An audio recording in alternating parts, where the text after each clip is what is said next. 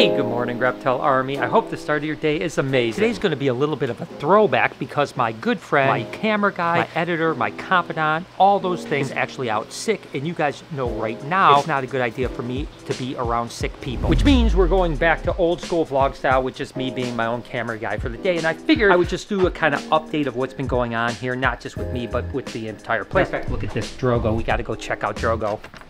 Drogo is rarely down here. What are you doing, you silly? Of course, he does go all over the enclosure and he climbs around a lot, but he's normally in his hammock over uh, here. I love it when he's right here because not only is it cooler that I get a bird's eye view of him where he's right down here and oh, soft. I love the way he feels. Such a beautiful animal. I don't know what I did when before I had a sloth, but it was absolutely incredible to have. But I love when he's down here during open hours in particular because he's so accessible, right? When he's in the back, you can hardly see him. So uh, it's something that we have to think about when we go across the street. Having that kind of uh, different experience so that you can see them at all points. So what we'll probably do is maybe tuck the tree in the back corner or something on that line. But again, Drogo stays here. It's going to be for the new slot across the street. And yes, still working on salt and peppers enclosure, but it is tore down now. We're getting progress on it. I'm going to have an entire video just about fixing this enclosure because trust me, there's about 200 steps that we have to do in order to hopefully have this thing fixed. Such a pain. But basically what's happening is that the seam right here, this goes to the side here, actually cracked a little bit. The reason it cracked is because the waterfall had leaked for a year or a year and a half. actually rotted away the wood and then the wood actually sagged. And of course all the pressure of the water sags this seam right down here. And what do you think? It's going to be pliable and it's going to crack the seam. So we are fixing this, but again, that's not for today's video. Today's video, I'm just going to give you the update on how everything is going here across the street at BHB and all that type of stuff. This is typically how the Reptarium looks. We're not open.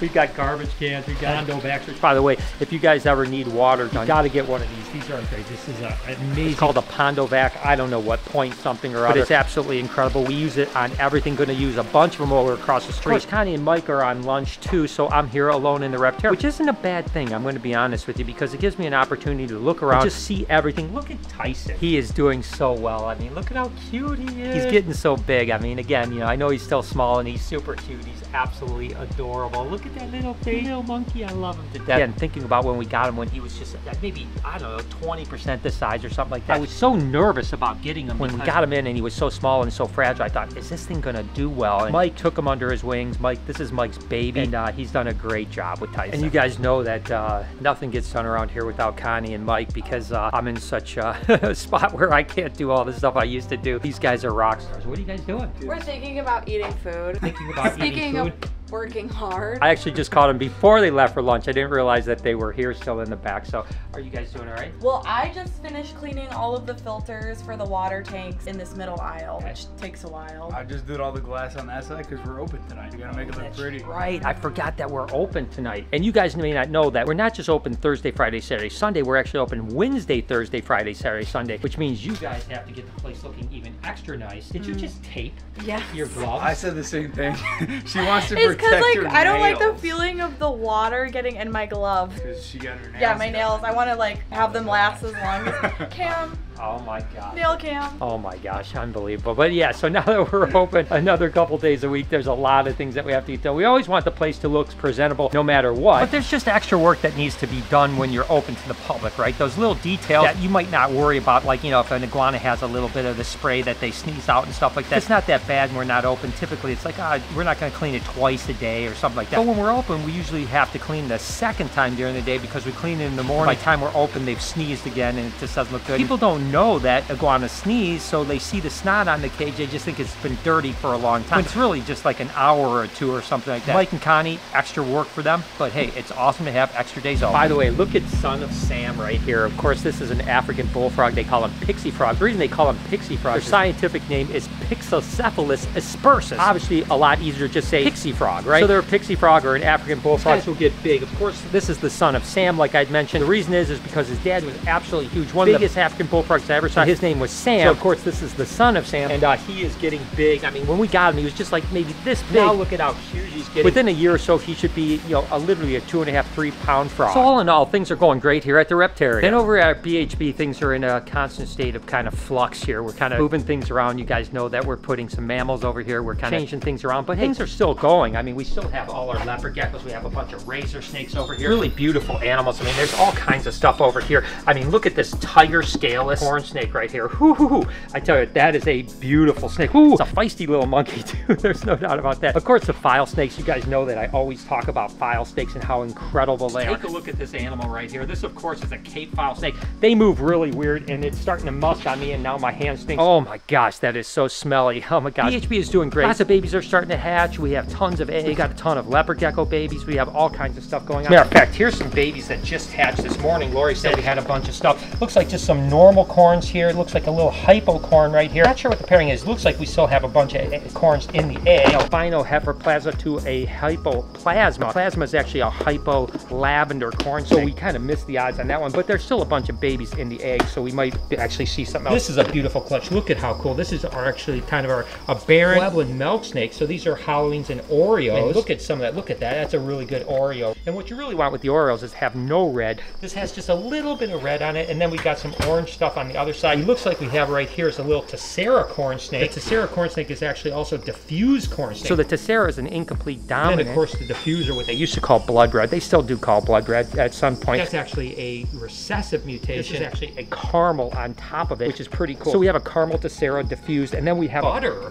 Tessera diffuse corn as well. Now the butter is actually a caramel albino. So this is basically the same exact snake as that snake. Just one's an albino and one is a caramel. And look at how beautiful all these snakes are. I, I tell you what, oh, don't get away. It's usually when things start to go bad. I remember when I used to vlog on my own, I didn't have two hands, uh, how hard it was to show off baby snakes. Well, I can remember how that goes now. So we gotta make sure not to have baby snakes. Got a couple other things. This is another clutch of palmetto corns that had hatched out. Look at how beautiful these are. And it looks like we just have some albinos right here. They gotta be, oh, you know what these, these are? So it's extreme reverse Okeetee albinos. And oh my goodness, beautiful. These ones are really cool. That's these ones right here. Ooh, man. I tell you what, that is a gorgeous snake right there. That is really beautiful. A whole bunch more palmetto corns, which is really cool. Yeah, we aren't gonna have the Kluber deer that we've had in the past. Again, some more house snakes hatched out. Looks like there's one in here that's really pretty, but this one's hype. I want that one to go away. This one right here is really, really pretty. Don't go away, buddy. Come on, come on. Oh my goodness. So again, we won't have the Klubers that we had in the past, but we still have a lot of Klubers going on. And like I said, ball pythons are starting to pop off as well. And then there, of course, is the dungeon. And you can see these are anacondas from earlier last year. They're actually Ivy's babies. This is actually Fernando. This is the male that I'm keeping. Don't tell Lori that I'm keeping it because she'll be really upset with me because me. she said I wasn't allowed to keep any of the anacondas, but they're just so beautiful. Here's another one right here that's just a little bit smaller. Uh, they're doing so well. And they're getting more and more docile and stuff like that. And again, you know, down here things are popping off. I mean, getting eggs like crazy, putting them in the incubator, starting to hatch. I'll do another baby update video. Let me know if you guys want to see that. And remember that super crazy Lori ball python that I got this year? It actually was bred to a Cine lesser, bred to a super Lori leopard. Look at how it looks now that it's shed out. I mean, it's got that like ringer spot on this side. It's really crazy. It's got that gray look to it. Its head has got really interesting pattern. It's got the stripe kind of on the first third of the body. It's absolutely ridiculous how it's look. I have no idea how this is possible. Absolutely something allelic is going on. There's no doubt about so it. So we know it's got to be a Lori because it was a super Lori leopard. It could be a leopard, which it absolutely looks like. and is. then it could only be a Cine and a lesser. This is definitely nothing like the Cine lesser Lori leopard that we produced last year. I mean, they look completely different. They're not gray. They're actually brownish looking. So this is just a really unique, unusual animal. Again, has to be something allelic with that gene. So it's always exciting because it just means there's more mystery to be solved. I know you guys are probably wondering if I'm doing an update, why not update across the street? Well, guess what this is right here. See this big old stack of papers? We finally got the last drawings in that we need to go to the city today. So we're actually taking these to the city. We're gonna submit them to get the permit so we can start working on the inside of the building. As of now, we've been waiting on these MEPs, which is mechanical, electrical, and plumbing. Now we have all this crazy paper here. It has all the details of everything that we have to do on the inside. Electrical, plumbing, you name it, it's on here. The exhibits, the entire thing, so we can really get things started really quick. So to the city, hopefully we'll have our permits approved by early next week, and then we start to heat As for across the street, it's been kind of a downer of a week, week and a half or so. You guys know that things move in spurts, right? It's like you get really a ton of stuff done, and then you have to wait for the next permit or the next materials or the next thing like that. So this is where we're at across the street right now. These windows and doors that are gonna go right here are actually gonna get start to get framed. The steel frame that goes for the window, you know how the steel in between the windows, that actually starts happening in the next day or two, not within the next three or four days for sure. And then about a week after they're done with that, week, week and a half, it'll be done with that. We'll have all of the grid that goes along here, including the door. Then they actually put the glazing in or the windows so in. then that goes, and then finally the next week, we have the steel guys coming now, wrap all this, because all this black right here and plywood up here, two shades of blue, and then the up top here, this overhang, is gonna be a gold color. So that's gonna take about three weeks or so. And then this entire front of the building is gonna be but done. we are, like I said, just got those permits in. As soon as those permits get approved, inside starts happening. And from the day that that happens till we open there will always be something going on. We're so in the last little lull here where it's been kind of a bummer coming over Seeing here. the beautiful beautiful.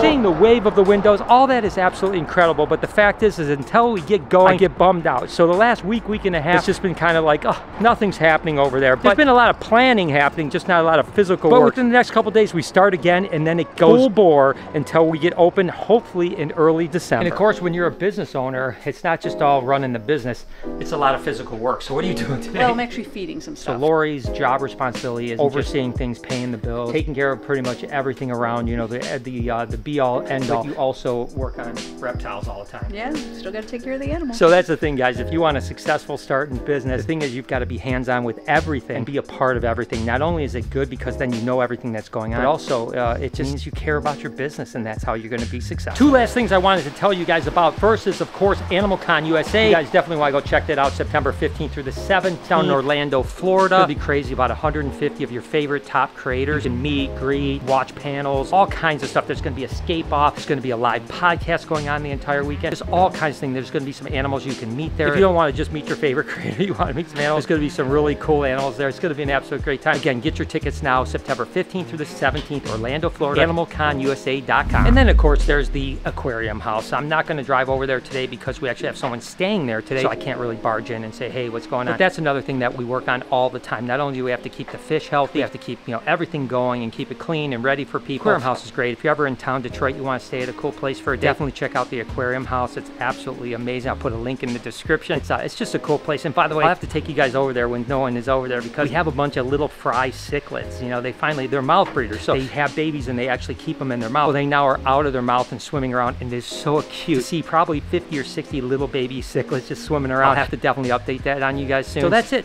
old school vlog. Hope you guys enjoyed it. Have a wonderful day. Hope you guys enjoyed today's video. If you did, there's a playlist that you can watch all kinds of videos. You can also hit that subscription button. It would mean a lot to me. Also, hit that like button while you're down there. Have a wonderful day, Reptile Army. Remember, be kind to someone, and I promise I'll see you in the next one.